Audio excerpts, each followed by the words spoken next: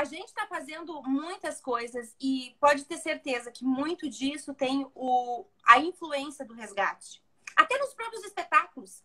Falas que a gente via antes, porque a, quando uma pessoa sabe e ela passa para os outros aquilo que ela está sabendo de uma forma uh, humana, humilde, todo mundo acaba vendo coisa de outro jeito. Então, até o meu irmão nos espetáculos, ele já tem outra visão das falas. Não, mas essa fala não, não cabe mais para hoje em dia, porque porque essa fase está sendo um pouco machista. Ó, essa fase não, não cabe para hoje em dia, porque isso. Então, isso acaba levando todo mundo para um outro lugar. Hoje a gente, todos nós aqui estamos num outro lugar porque eu fiz o resgate. Então, isso é, é uma coisa que leva todo mundo. Então, na tua casa, todo mundo vai se resgatar.